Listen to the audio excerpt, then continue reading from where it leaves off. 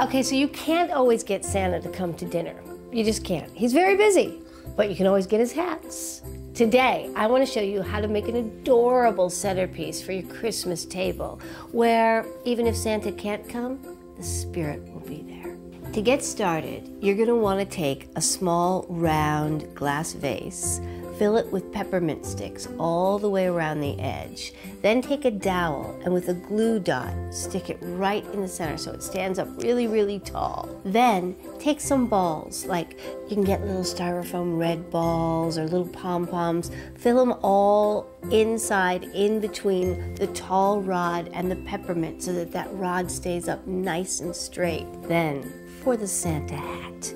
What you're gonna need to do is get yourself a cone, a styrofoam cone, and you're gonna see, you know, Santa's a big guy. He's a big guy, so his hat's a little bigger than any cone you're gonna buy.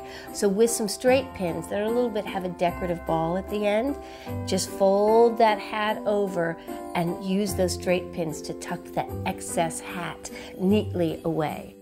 And then with a pair of scissors or an awl, make just start a little hole right in the center. And then right where you put the little scissor hole, stick it right on the dowel and push it down ever so gently. You want to stop so there's a little bit of that dowel showing so it looks like the stem. So you've got the peppermints in the round glass vase, you've got the big Santa hat on the tree, and you've got a little visitor at your holiday table. Who says Santa can't be in more than one place at one time?